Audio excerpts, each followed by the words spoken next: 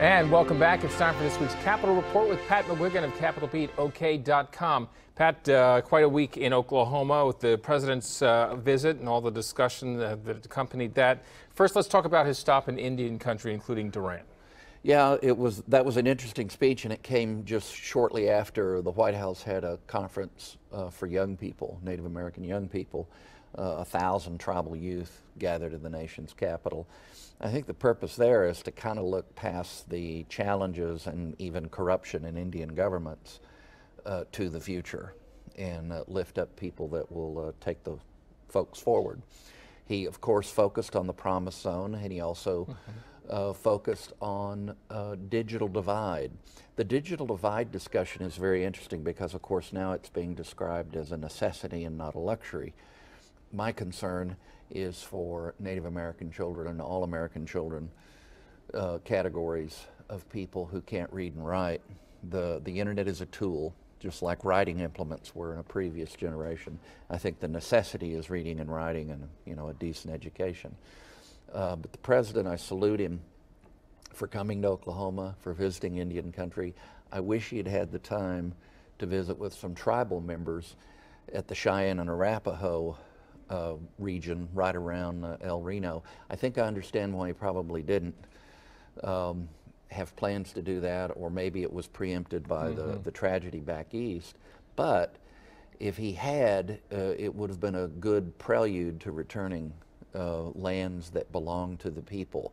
Now, I have to say, the Bureau of Indian Affairs has never recognized the current government of the Cheyenne and Arapaho, and that's probably a wise decision right. because there's so many problems. They're divided into at least five factions, and the last election was a bit of a charade. Um, so in any case, I wish he had taken that step. I think he wants to, and I hope he does someday. Well, speaking of El Reno, uh, let's, let's, talk about his comments out there at the Federal Correctional Facility and Governor Fallin's response.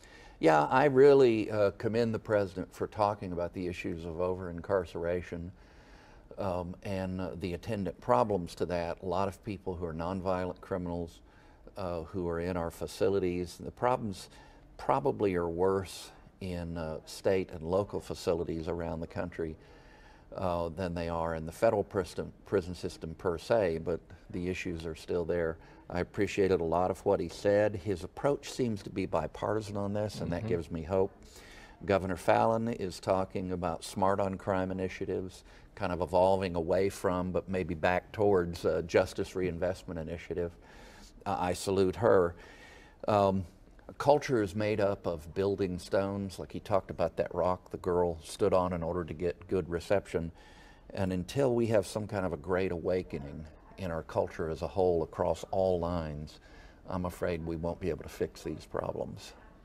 We don't have a lot of time, but just quickly, thoughts on the Iran nuclear deal. A lot of criticism from actually from both sides on this. Yeah, a Is lot this better than the first agreement they talked about? No, it's worse. Um, a lot of Democrats agree with that position, and I'll be surprised if they vote for it in the end. It leaves Iran as a threshold state in terms of nuclear weapons, and we'll come back to that, I have no doubt. Okay. All right. Well, you can read more about these and other topics at capitolbeatok.com. For Pat McGuigan, I'm Alex Cameron. Have a great day.